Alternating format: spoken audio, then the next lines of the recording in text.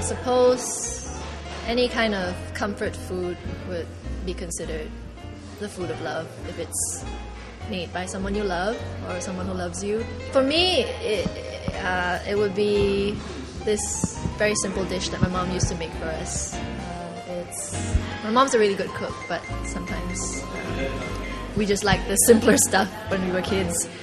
Uh, it's it's this vegetable stew that she makes with potatoes, carrots, and onions stewed together for a couple hours. And yeah, it's perfect for a rainy afternoon. It's my kind of food for love. Basically, I come from a family of cooks. My mom cooks, my cousins all cook, my aunties cook, my uncles all cook. Uh, my entire extended family cooks.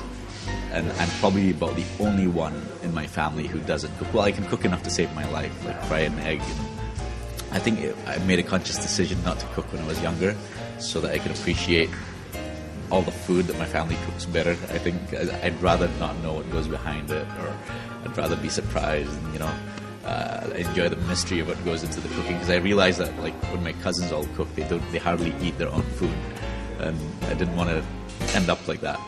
But I guess it's just uh, an excuse not to learn how to cook.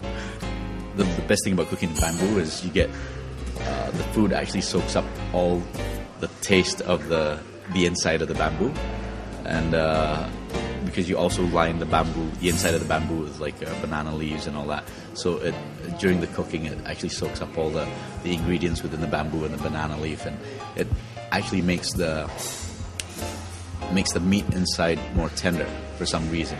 So it's very easy to eat uh, whatever you cook in a bamboo. Like back home, back in Sarawak, we generally don't buy veggie or even our own rice because we plant our own rice and vegetables are just planted uh, around the house. So we go pick up tapioca leaves, ferns, um, kangkong, which is just in the longkang, you know, uh, and then uh, manis.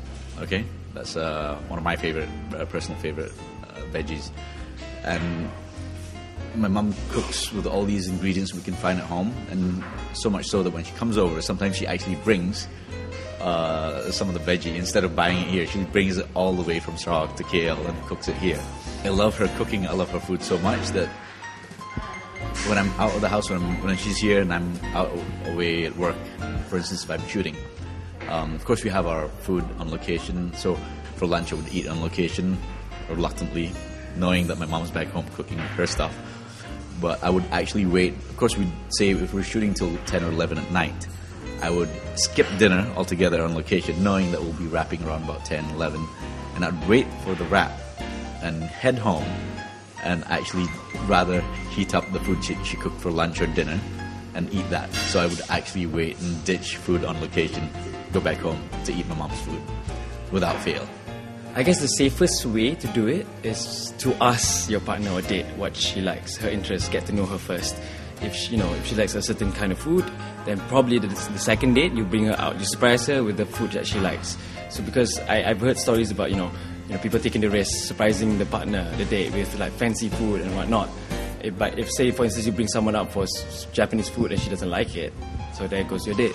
So the safest way is you know to get a little bit of information before you know you go out with the, the, the person. At the same time, I'm quite a laid back person. You know, I, I, I like to go to you know mamak stall, street food and whatnot. So if my partner or my date is okay, is comfortable, is comfortable with that, then I know it will be a perfect date for me and hopefully for my date as well. Because uh, at the end of the day, you just want someone you know who can you know can can live with your imperfections or your flaws. Because I think that's what love is. So if she's okay with going to the mamak like every day with me, sorry, that would be perfect for me. Yes. Okay, what food and sex have in common? Well, very obvious. It takes you by surprise. no, it really does. I mean, uh, even if you cook a dish that you're so good at, every time you cook it, I find that it'll come out slightly different. So it's not two way the same. So just like sex as well, even if you are having it with the same person, not every time it's the same. And also, it's how would I say? Cooking is so personal because when you cook, you put your emotions in it. And it's the same thing with sex as well. If you want the dish to come out good, if you want it to come out good, you got to put your emotions, you got to put your feelings, and you got to work at it. I think it's like, you know, being on a trampoline. You know, you jump, and with each time you jump higher, you get more excited. And it's the same thing with cooking. The more you cook, the more you get excited, the more your flavors will come out. Yeah? So it's the same with sex as well.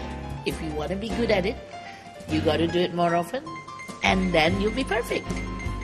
It's like a good casserole. If you do it bad, it'll get burned.